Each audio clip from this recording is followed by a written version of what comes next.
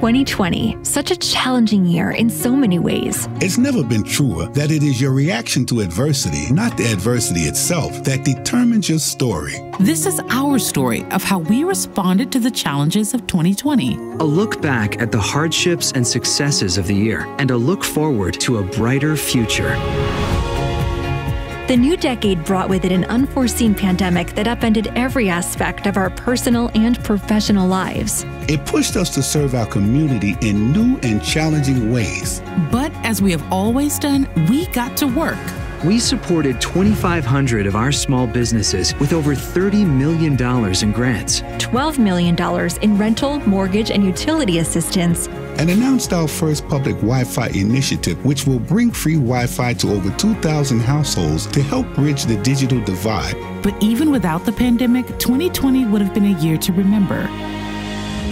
Civil unrest erupted nationally after the death of George Floyd. It forced us to have hard but important conversations about racism and justice. We created Safe Charlotte to ensure community safety and crime prevention strategies reach all areas of the city. Collaborating with community partners to reimagine policing, we are tackling fundamental and systemic issues to create a community of opportunity. Building on our commitment of prosperity for all, we pledged nearly $25 million to fund infrastructure and community programming through corridors of opportunity.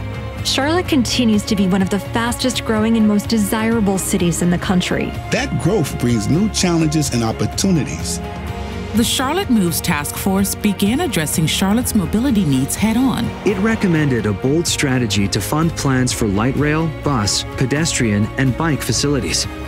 We also continue developing the Charlotte Future 2040 Comprehensive Plan, the first plan of its kind for Charlotte since 1975. The plan will guide Charlotte's growth over the next 20 years to help ensure equity, integration, and resiliency.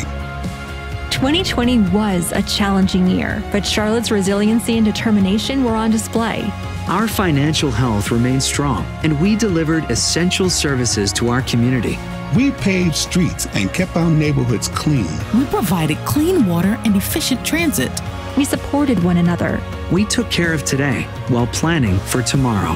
To everyone who stepped up to make this city a fairer, safer, and more equitable place to live and work, we thank, thank you.